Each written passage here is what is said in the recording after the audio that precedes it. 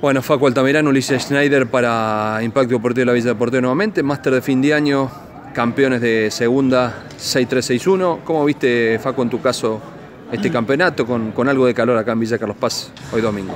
Hola, buenas tardes.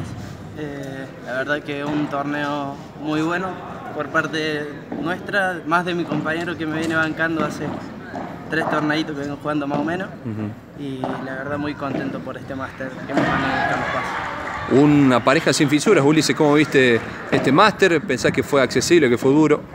Eh, sí, bueno, la verdad es que nos vamos consolidando como pareja. Eh, por ahí hay veces momentos del partido que juego mal yo y, momentos en los que juega mal Facu, pero bueno, creo que sacar la situación adelante de lo que, lo que consiste de este juego y, bueno, por suerte en, los momentos malos sabemos cómo, cómo resolver y cómo sacar adelante a la compañía.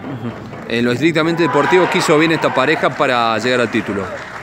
Eh, venimos haciendo las cosas bien en cuanto a las tácticas y a los planteos de los partidos, porque a medida que se nos van complicando las cosas no dudamos en, cambiar las tácticas y nos vamos adaptando a lo que cada uno propone. Eh, y bueno, creo que eso es parte de la clave porque no, jugamos siempre el mismo juego, sino que vamos cambiando y eso le complica a los rivales.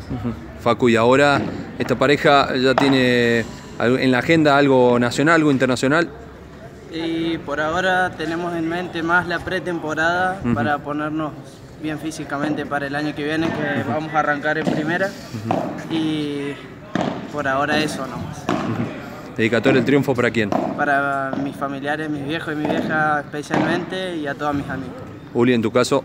Eh, yo se lo quiero dedicar a mi familia, a mis amigos, los alumnos eh, toda la gente que manda mensajes y apoya para ver cómo, cómo nos va y bueno, a todos los sponsors que me están bancando tanto paletas como indumentaria y económicamente para competir. Felicitaciones y muchas gracias como siempre. Muchas gracias. muchas gracias.